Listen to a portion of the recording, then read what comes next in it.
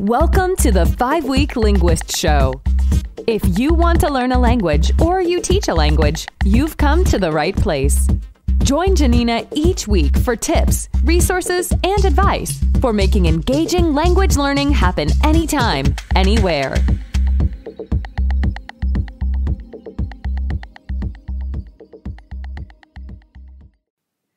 Welcome to the Five Week Linguist Show. This week I wanted to talk about three ways to get talking on italki.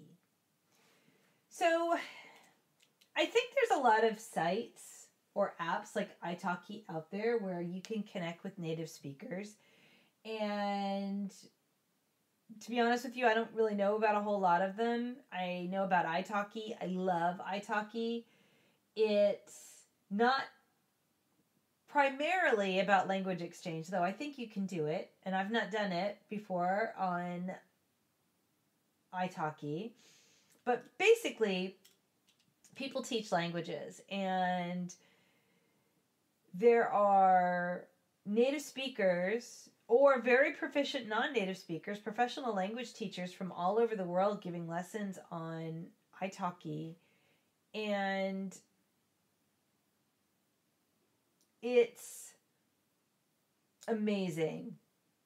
So you log in, you you put money in your italki wallet and you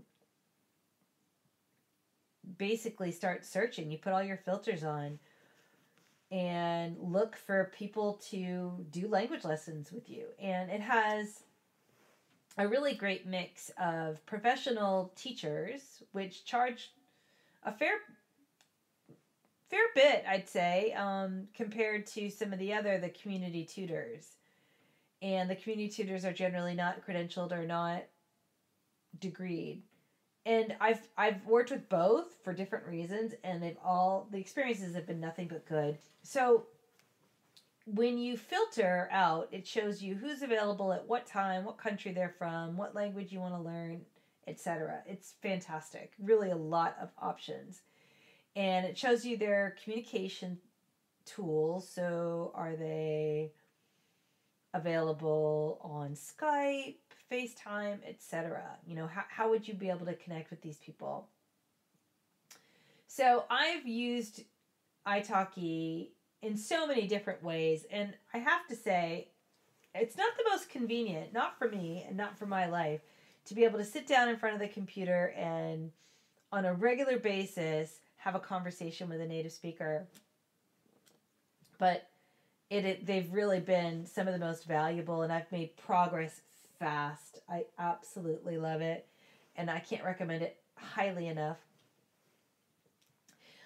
So I wanted to share. I, I know that people it can sound really terrifying, right? I know a lot of people feel really frightened about the idea of talking to a native speaker, especially when they can't speak a language very well. You know, here you are, you want to learn a language, you're thinking, I can't speak it very well. How on earth am I going to be able to talk to these people?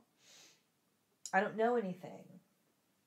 Well, I want to share with you if you're if you're feeling reticent in any way and you're sort of at the beginning level or even the intermediate, I wanted to share with you three quick tips and this these work especially for beginners, but they definitely work for for uh, A, B, novice, intermediate as well. So the very first thing that I wanted to talk about is just let the teacher lead. So one thing that's really great about italki that the italki teachers really seem to understand is that they're going to lead the conversation most of them, right? They've got the language skills and they're going to do something that's called comprehensible input, right? They're going to speak really slowly to you to make sure that the things that they're saying are in this new language are understandable to you. That's research based. That's Dr. Stephen Krashen. We learn through comprehensible input. And what's so powerful about these conversations is also research based. So so when you are speaking to a native speaker, you're having to produce something, right? And then this native speaker is speaking back to you. And you're getting all this input back.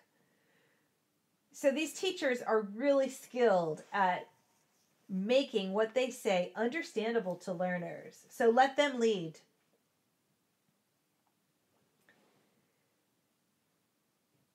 The next one is really interesting. Uh, one that Benny Lewis shared with me, and I think I thought it was really brilliant. Is using the chat box. Essentially, let them talk to you. That same thing that I talked about. That that comprehensible input, right? They're going to be talking to you. And you don't expect to be able to say as much back to them when you're a beginner or an intermediate and you can answer in the chat box. So you're kind of having a conversation if you're really intimidated, and you can even open up some other apps to help you, right? So you might open up, I don't know, Google Translate, which isn't great, but it definitely has its merits. And you can type responses. You can type questions, even. That's another way to use this, right? Type you can pre- type questions into the chat box and send them to them and then they talk and answer. And the the next way i wanted to share with you is simple question and answer. And this is a this is something a lot of beginning language teachers it's as simple as it sounds. It's question and answer ask a question and get an answer and base it on that. Now, what's terrifying is you might think, well, I don't really have any questions because I don't know anything. But this is the really this is the really great part. This is really powerful. I can't I can't stress it enough if you're a beginner. So, just draft out a list of questions and uh, what I've done in the past is you know I, i've labored over trying to make the questions but i've also just used online tools to to create the questions. And i've also had them translated for me. You know on something like fiverr you can do if you feel really you know you really want to get into that conversation and you don't have a whole lot of time that's something you can do in a pinch. And i've done it before if i'm not clear or if i have taken my my notes and my textbooks and my online tools and I've created a list of questions and I'm just not sure about them. I've put them on on Fiverr to get edited. But essentially what you want to do is you want to find a way that works for you to create some questions and they can be really simple. What's your name? Where do you live? For beginners that sort of get to know you questions. But I often theme these questions. So they might be themed around family, for example, or nature, or the environment, or traveling, something, right? You're going to create these questions. And you can even have your teacher help you formulate them. Once once you've once you've worked with them, you can even send them a list of questions. Okay, here are the things that I want to be able to talk about. And they'll really be able to guide you.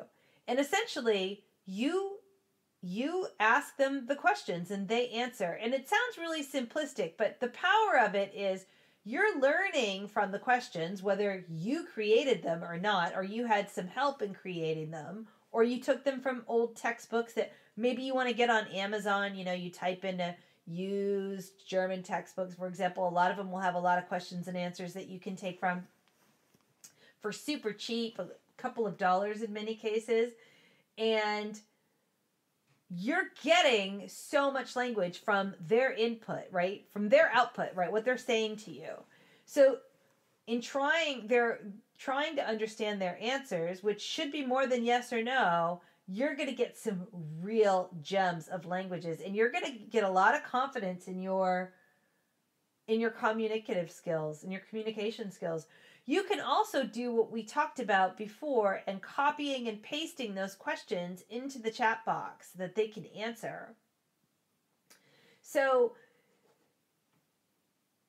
it's really fantastic. So as, as you're creating the questions or you're getting some help in creating the questions, you're doing something that's research based, which is you're you're doing Dr. Stephen Krashen's learning, those deliberate activities that we use to learn a language.